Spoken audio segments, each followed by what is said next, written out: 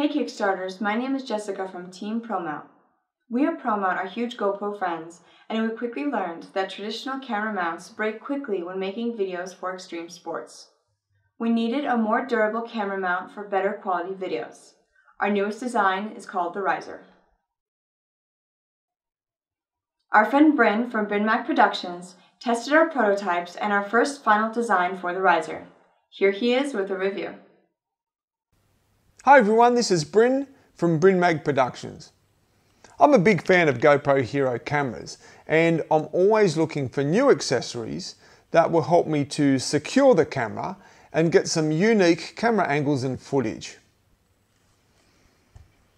If you've ever had a GoPro extension piece break like I have, then you may be interested in a new accessory from ProMount called the riser. The riser is a straight extension made from high quality aluminium, which means no more broken parts. It also has a built-in hex nut, which means that I don't have to worry about the hex nut dropping out and being lost. It has a stainless steel insert for the thread, which reduces the chance of cross-threading. The riser weighs only 9 grams, making it about the same weight as a long right-angled plastic extension piece. This means that it's no heavier, but it's a lot stronger.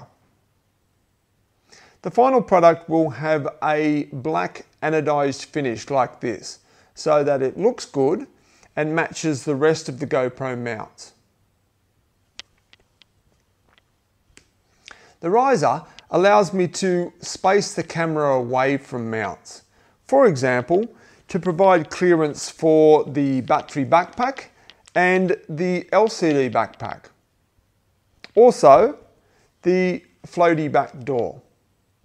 If you're using the backpacks or the floaty with mounts like the head strap mount or the chesty, even with the larger J-hook buckle, you'll find that there just isn't enough clearance to have the camera in an upright position. Using the riser allows you to do that. Here you can see that I've used two of the silver prototype riser mounts to make my own helmet front mount. These are just a few examples and I'm really excited by all the ways that I might be able to use this new product. This is Bryn. Thanks for watching.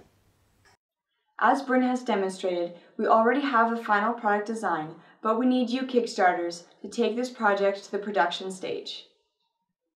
We believe in the Riser, so please take a look at the pledges below to make this project happen. Also, please lend us a hand by sharing this video with your friends. Thanks for watching.